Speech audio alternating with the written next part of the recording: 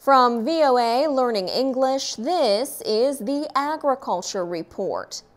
A new study says the speed and severity of climate change could cause major damage to small African farms. These farmers are already struggling to deal with the effects of climate change. The study was released at the African Green Revolution Forum in Addis Ababa, Ethiopia. David Sarfo Ameyaw was a lead producer of the report. He is a director at the Alliance for a Green Revolution in Africa. He said small farm owners produce about 80% of the food needed in Africa. These farmers grow most of the main crops in Africa on fields from 2 to 10 hectares in size.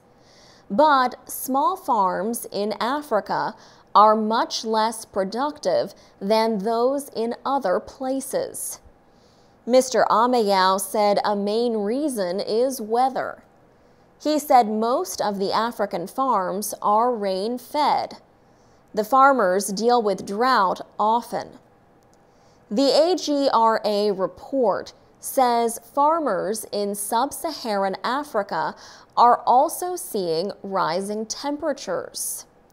Mr. Ameyaw said an expected rise of as much as 2.5 degrees Celsius in the next 35 years will result in smaller harvests. Climate change is also expected to affect the average length of the growing season.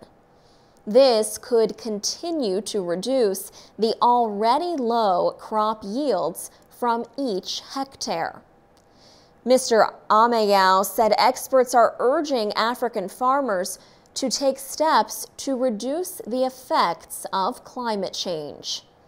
They suggest that small-scale farmers grow new kinds of crops that require less manufactured fertilizer. Other new crops can grow well in times of drought. These include maize, sweet potato, sorghum, soybean, and cassava. For VOA Learning English, I'm Alex Villarreal.